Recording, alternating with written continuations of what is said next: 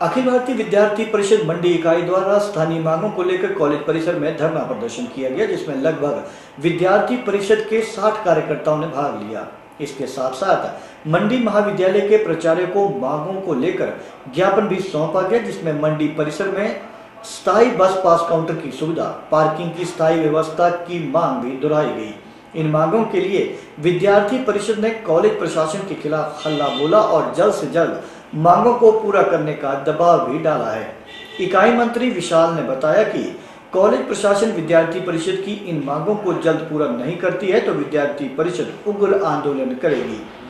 वहीं राजीव गांधी राजकीय महाविद्यालय में एबीवीपी इकाई द्वारा स्थानीय मांगों को लेकर कॉलेज के प्रांगण में धरना प्रदर्शन किया गया, जिसमें इकाई अध्यक्ष साहिल जसवाल सहित प्रदेश कार्यकारिणी के कई सदस्य मौजूद रहे। सचिन मित्र ने बताया कि कॉलेज प्राचार्य को मांग पत्र सौंपा गया है, जिसमें मांग की गई है कि महाविद्यालय में जल्द से जल्द कैंटीन का विस्तार किया जाए व छात्रों के लोकतांत्रिक अधिकार, छात्र संघ चुनावों को जल्द बहाल किया जाए। वहीं साहिल व अमन जसवाल ने कहा कि कॉलेज में नए भवन का निर्माण करवाया जाए व मांगों को जल्द से जल्द पूरा किया जाए। आज विद्यार्थी परिषद ने मंडी कॉलेज में धरना प्रदर्शन किया। इसी तरह पूरे प्रदेश भर में, हर कॉलेज में विद्यार्थी परिषद ने आज धरना प्रदर्शन किया।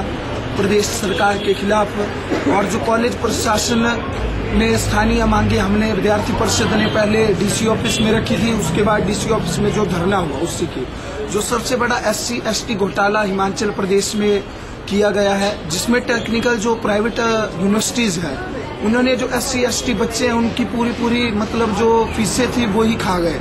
उस पर तो विद्यार्थी परिषद मांग करती है कि जल्द से जल्द उसकी सीबीआई जाँच हो।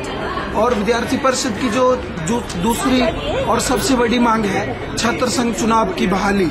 प्रदेश सरकार ने आने से पहले कहा कि हम जल्द से जल्द छात्र संघ चुनाव बहाल करेंगे। लेकिन आज गत सरकार को डेढ़ वर्ष हो गया।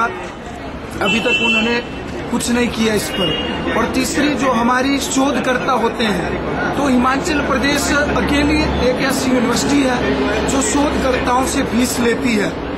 और कहीं भी चले जाए, पूरे भारतवर्ष में शोध करने की जो हमें है रिसर्च स्कॉलर जिन्हें हम बोलते हैं इंग्लिश में, उन्हें फ़ीस दी जाती है। और हिमाचल प्रदेश में उनसे दी जाती है। तो मैं सरकार से मांग रखूँगा कि उनसे वो जो फ़ीस लेते हैं, वो बंद की जाए।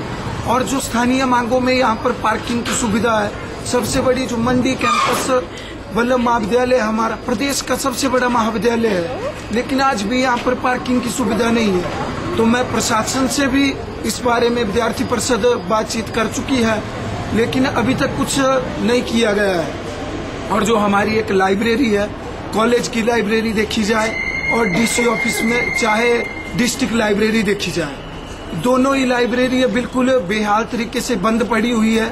जहाँ पर छात्रों की बैठने की बिल्कुल भी सुविधा नहीं है। तो मैं मीडिया के माध्यम से भी अब विद्यार्थी परिषद सरकार को जताना चाहती है।